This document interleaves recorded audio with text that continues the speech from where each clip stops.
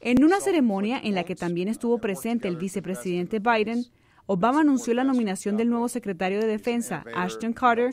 Carter es un físico, se desempeñó como el segundo funcionario de mayor rango en el Pentágono en 2013 y cuenta con una trayectoria de 30 años de trabajo en la seguridad nacional de Estados Unidos.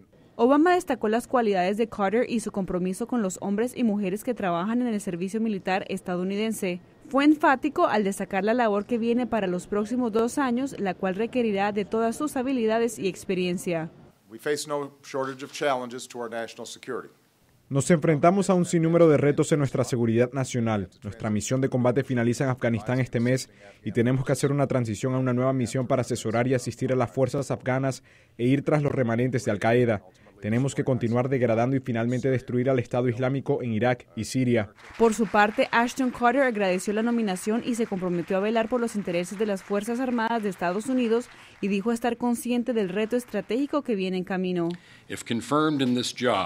Si soy confirmado en el puesto, me comprometo con usted a ofrecer mi más sincero asesoramiento estratégico y me comprometo también a ofrecer mi más sincero asesoramiento militar. Legisladores de alto rango han manifestado su apoyo a Carter, de 60 años, quien como vicepresidente de Defensa supervisó el enorme presupuesto del Pentágono y su adquisición de armas.